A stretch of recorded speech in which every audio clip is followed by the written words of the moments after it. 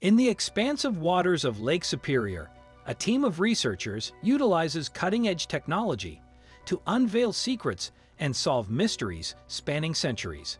During one expedition, their cameras, equipped with side-scan sonar, make a remarkable discovery hundreds of feet beneath the icy surface, leading to unforeseen revelations. The Great Lakes Shipwreck Historical Society, GLSHS, based in Sault Ste. Marie, Michigan, has long been dedicated to exploring Lake Superior's depths, hoping to unearth relics from the region's tumultuous past.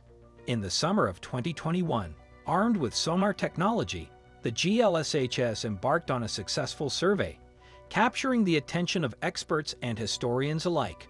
Approximately 35 miles from the Michigan shore, the researchers encountered an unknown object around 650 feet below the surface.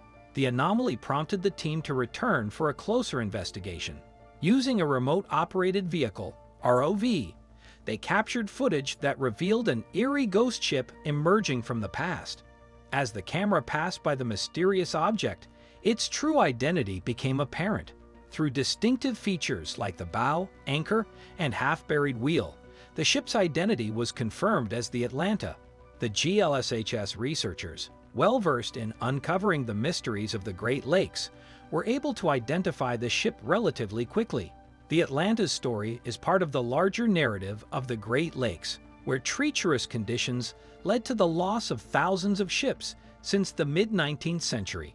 While many wrecks remain undiscovered, the GLSHS conducts regular surveys to shed light on the region's history.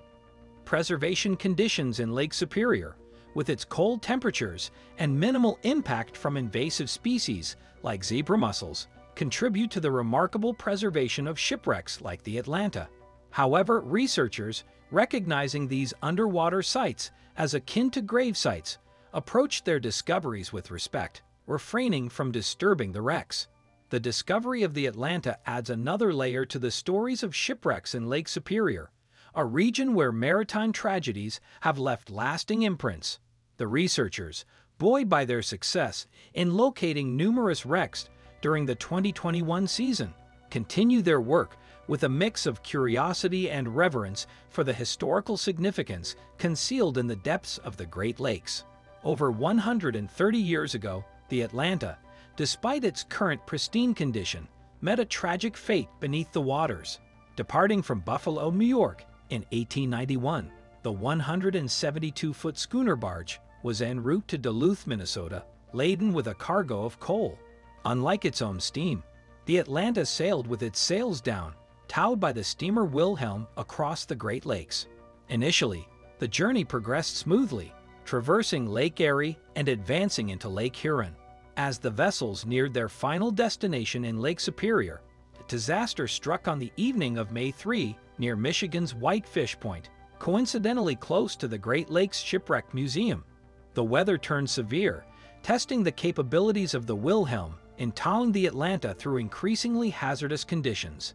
The connecting line between the two vessels snapped, and the United States Life-Saving Services annual report from June 1891 revealed the ensuing struggle. The crew of the Atlanta attempted to raise their sail, but the boom shattered, leaving the vessel adrift in tumultuous waters and fierce winds. For the next 20 minutes, the crew battled to control the drifting ship as it trolled amid the gale's full force. As water leaked into the vessel, the situation worsened, making it increasingly difficult for the crew. Despite their efforts to man the pumps throughout the night, the Atlanta became uncontrollable, swaying from side to side in the relentless waves. By 11 o'clock a.m. the next morning, the inevitable decision to abandon the Atlanta was made.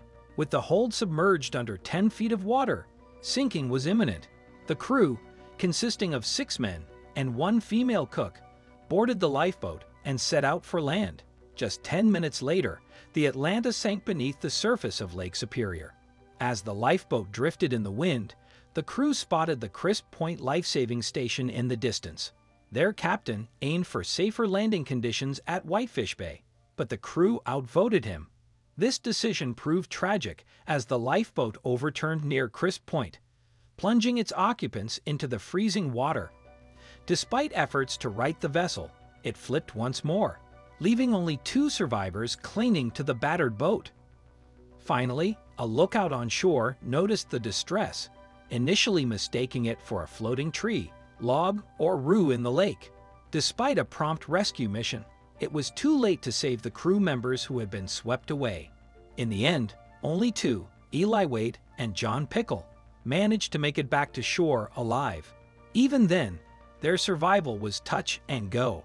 According to the United States Life Saving Service report, both men were in such dire condition that it took several hours of relentless effort before they were out of danger. Days later, Eli Waite expressed his gratitude to the rescuers for their brave intervention in a letter. Until the discovery of the Atlanta at the bottom of Lake Superior, this poignant letter was the sole surviving relic connected to the lost ship. Waite's letter certified his rescue at the point of death by Captain Small of the Crisp Point Station. The letter highlighted the perilous conditions in the lake and assured the rescuers that nothing more could have been done to save those already in the water. John Pickle added his signature, aligning with Waite's account of the events. The tragic end of the Atlanta unfolded as it sank to the bottom of Lake Superior, while its crew perished within sight of land. Thanks to the diligent work of the Great Lakes Shipwreck Historical Society, GLSHS, the ship's story can now be told. The sinking, documented at the time, has been thrust into the spotlight once more, resulting in unexpected discoveries. In a video uploaded to the GLSHS YouTube channel on March 2, 2022, the ROV approached the wreck of the Atlanta for the first time. The eerie scene, with intact covers for the ship's hatches and a discarded toilet as a sinister reminder, transported viewers back to that terrifying night 130 years ago. The video revealed that the Atlanta's three masts were missing, confirming eyewitness accounts that each sail had been destroyed by the storm. The GLSHS plans to leave the wreck undisturbed, as legislation in Michigan prohibits attempts to raise shipwrecks from the Great Lakes.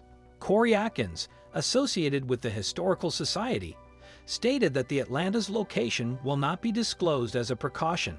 While shipwreck enthusiasts may not have direct access to the site, the discovery of the Atlanta underscores that the Great Lakes shipwrecks continue to be found. The GLSHS, with plans for an exhibition dedicated to the Atlanta, ensures that the story of Waite, Pickle, and those who lost their lives will receive the attention it deserves. Subscribe to the channel and press the bell icon.